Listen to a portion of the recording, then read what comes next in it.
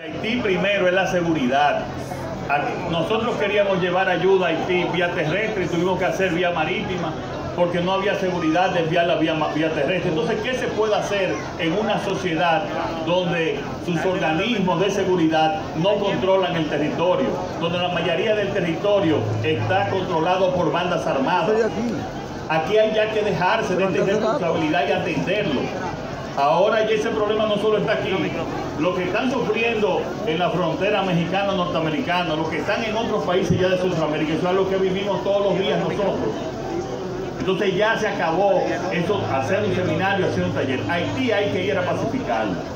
Y desgraciadamente la división que hay en el liderazgo haitiano y la mayoría de sus territorios controlados por bandas, nosotros dudamos mucho de que puedan ser los propios haitianos que puedan llevar esa pacificación. Ahora, lo que yo le aseguro a usted es que estamos eh, haciendo todo lo que tenemos que hacer el gobierno para garantizar nuestra seguridad. Y en los próximos días, también el próximo martes se reúne el Consejo Nacional de Migración y vamos a tomar también medidas especiales. Aquí ya no es República Dominicana, aquí son todos los países que tienen que ir juntos a atender a Haití, incluso más que nosotros. Nosotros podemos facilitarlo, espacio, tiempo, pero no podemos ser partícipes, por ejemplo, en un grupo que vaya a pacificar a Haití por razones históricas y diplomáticas normales y de prudencia.